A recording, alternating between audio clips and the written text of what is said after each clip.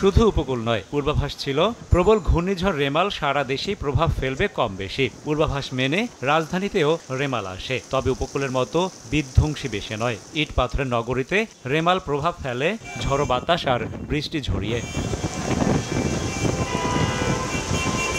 রাজধানীতে রাতের গুড়ি গুড়ি বৃষ্টি সকালে রূপ নেয় ভারী বর্ষণে। কাজের প্রয়োজনে বাইরে বের হয়ে নাকাল হতে হয় কর্মজীবীদের। বৃষ্টির সঙ্গে দমকা হাওয়ায় উপক্রম হয় ছাতা উড়িয়ে নেয়ার। তবে গত কয়েকদিনের অস্বস্তিকর গরমের পর প্রকৃতি কিছুটা শীতল হাওয়ায় স্বস্তি প্রকাশ করেন বেশিরভাগ মানুষ।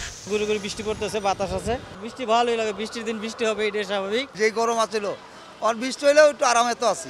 স্থল নিম্নচাপে পরিণত হয়ে গেছে। এটা বাংলাদেশের উপরে অবস্থান করছে এই মুহূর্তে।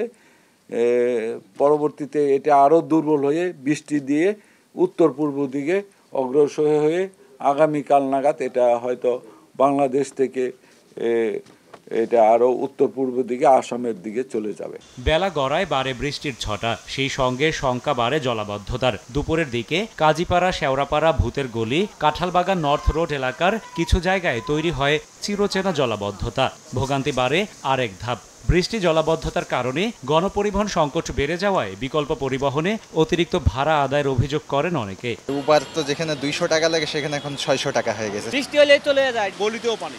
এবং একটু বৃষ্টি হলে এরকম হয়ে যায়। গাজীপাড়া সারাপাড়া পুরো দশ নম্বর পর্যন্ত এই রাস্তা আপনার এগারো পর্যন্ত পানি হয়ে যায়। বৃষ্টি এবং রাস্তা কাটা সবকিছু মিলে আমাদের যে অবস্থা এখন হাঁটাচলা করতে আমাদের অনেক কষ্ট হয়ে যাইতেছে। এমন সংকটে মেট্রো রেল মানুষের ভরসাস্থল হলেও সকালে নাকাল মানুষকে সেবা দিতে ব্যর্থ হয় বাহনটি। অজানা কারণে দীর্ঘ সময় চলাচল বন্ধ থাকায় অনেকেই মিস করেন অফিস। মাঝে মধ্যে মেট্রো রেলের এমন অবিবেচকের মতো কর্মকাণ্ডে হতাশ ব্যবহারকারীরা। কেউ কিছু জানে না কেউ কিছু বলতেও পারে না। কি কারণে মেট্রো রেল বন্ধ হয়? ঘোষণা দেওয়া উচিত। অন- অন্তত মানুষ তো বুঝবে যে না মেট্রো রেলটা বন্ধ আছে। মেট্রো রেল যে হঠাৎ বন্ধ হয়ে যায় সেক্ষেত্রে আমার কিন্তু অফিসে যাওয়া ওই দিন বন্ধ হয়ে যায়। রেমালজনিত জলাবদ্ধতা নিরসনে মাঠে সিটি কর্পোরেশনের কর্মীদের উপস্থিতি ছিল সরব।